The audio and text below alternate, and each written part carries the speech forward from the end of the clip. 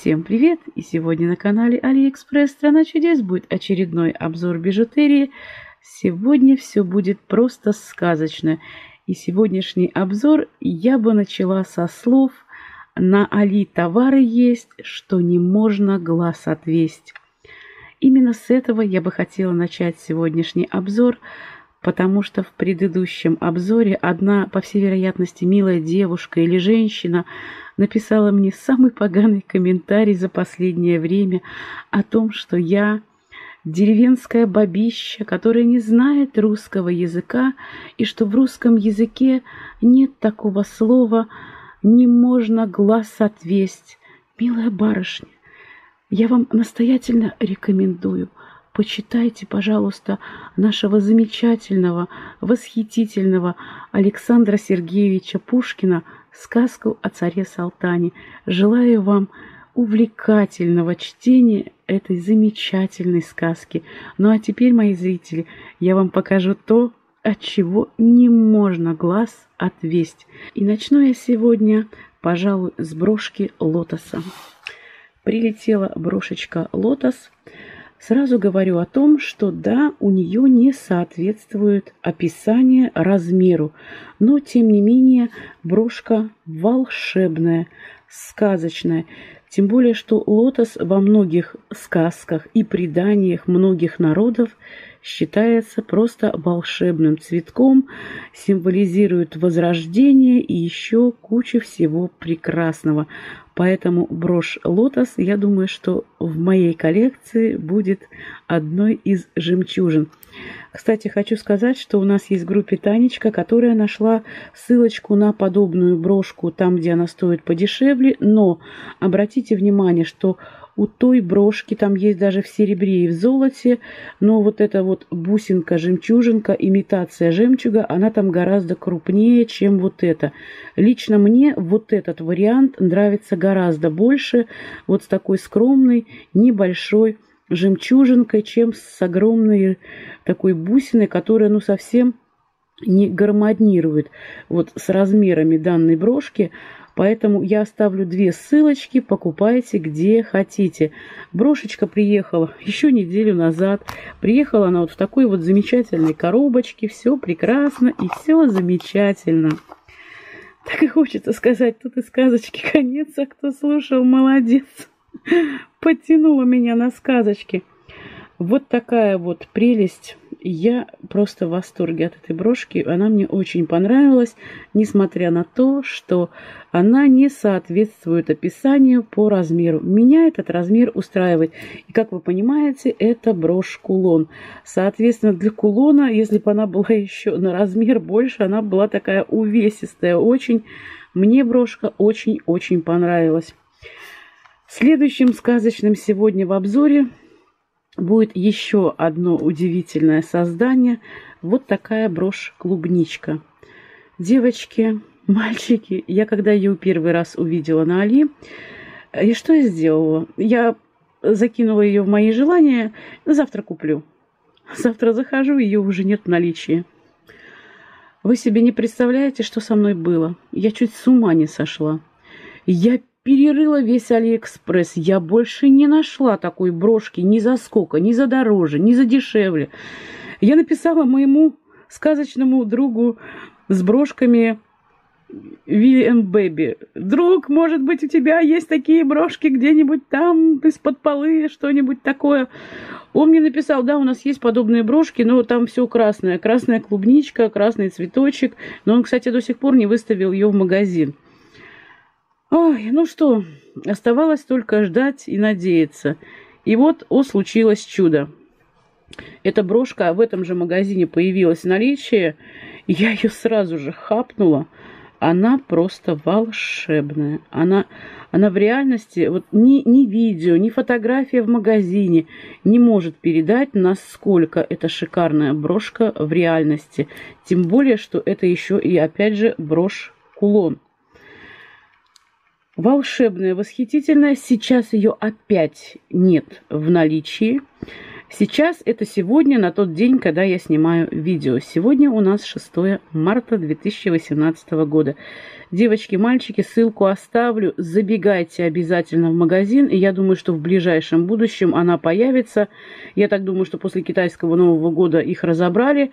И я думаю, что в ближайшем будущем эти брошечки появятся. Но я я просто восхищена. Тем более, что ссылочка на нее была в группе ВКонтакте. Так что забегайте почаще в группу ВКонтакте, чтобы успевать купить что-нибудь волшебное. Ну и напоследок сегодня не на сладкое даже, а вот именно просто напоследок, потому что сегодня все волшебное. Прилетело мне колечко, брали с купончиком. Вот такое вот колечко расписное я взяла в фиолетовом цвете.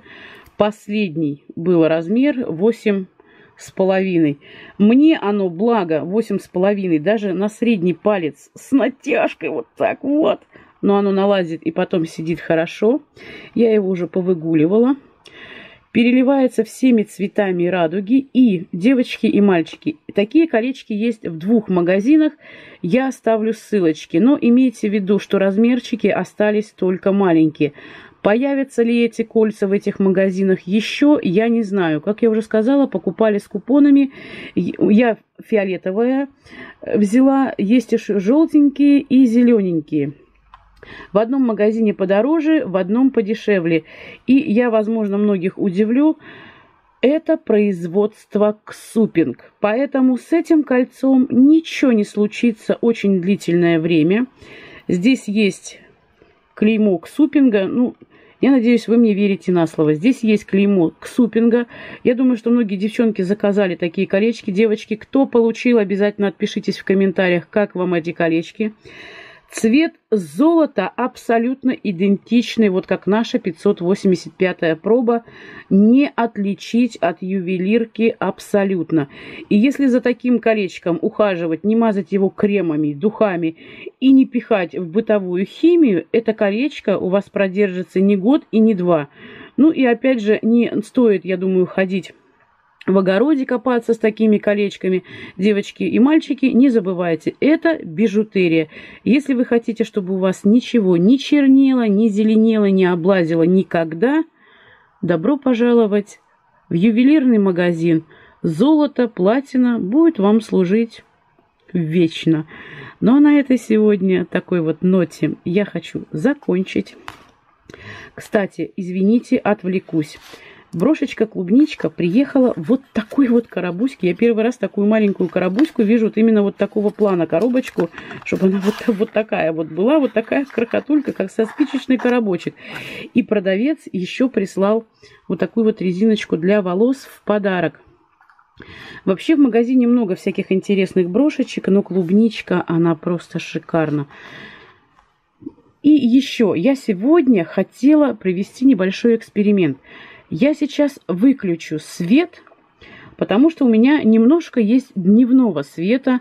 И хочу посмотреть, как вот это все будет выглядеть. И вы мне, пожалуйста, напишите в комментарии, как вам при дневном свете, ну, окно у меня очень далеко, поэтому я сейчас выключаю свет, и давайте посмотрим, как все эти замечательные украшения смотрятся при дневном свете, просто так, да, без дополнительного освещения.